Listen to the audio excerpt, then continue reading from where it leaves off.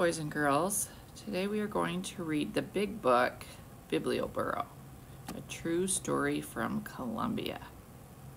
Okay, so you can see from the cover of the photo that life is probably a little different there than our life.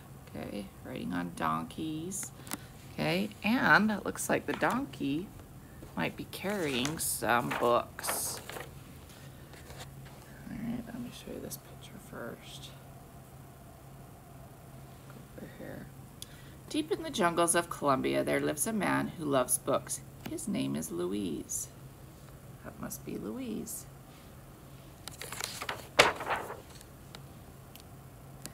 As soon as he reads one book, he brings home another. Soon the house is filled with books. His wife, Diana, grumbles. Like how the house there is full of books.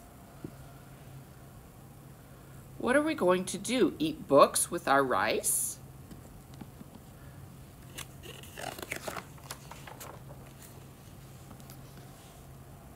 Luis thinks long and hard. At last, an idea pops into his head.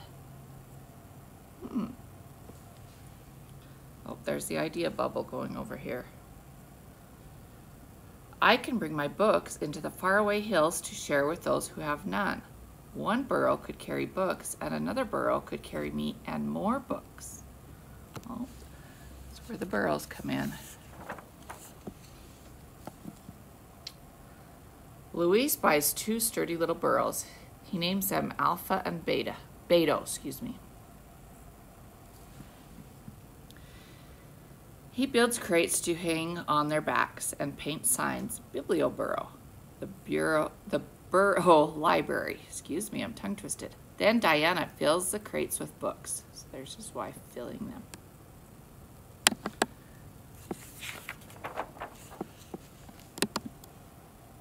Every week, Luis and Alpha and Beto set off across the countryside to faraway villages in the lonely hills.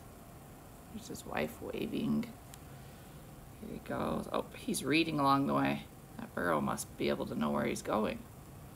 This week, they traveled to El Tormento.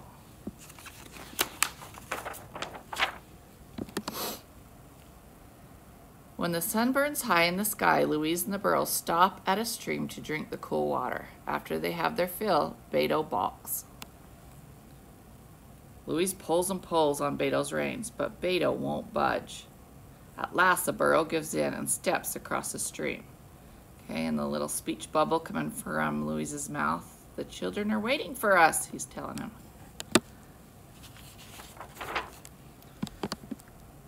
Deep in the hills, the path is lonelier than ever. Bird songs are the only sounds they hear. Then from deep in the shadows, a bandit leaps out. There's the bandit.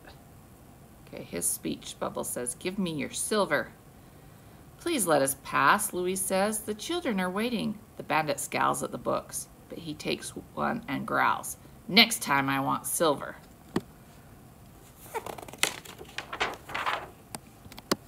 There they are going and walking down. Oh, here's the children. Look how excited they look.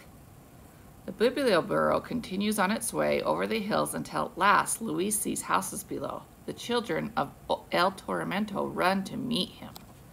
They're so excited. Books are exciting, aren't they? Luis insists on reading a story before they choose books to borrow. Today I have a surprise for you, he says. He reaches behind the books and pulls out a bundle of masks, little piglets. Put on a mask and I'll read you a tale about pigs.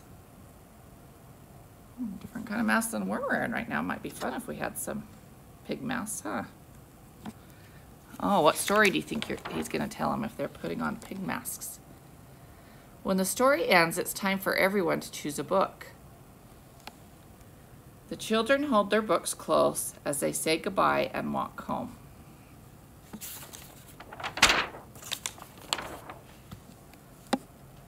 Luis and Beto head back over and around the hills, across the grasslands and streams, and into the sunset.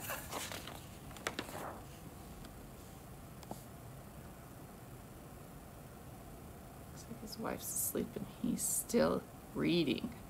His burros are exhausted. At home, Luis feeds his hungry burros, and Diana feeds her hungry husband. But then, instead of sleeping, Luis picks up his book and reads deep into the night. And far away in the hills, candles and lanterns burn as the children read borrowed books deep into their night, too.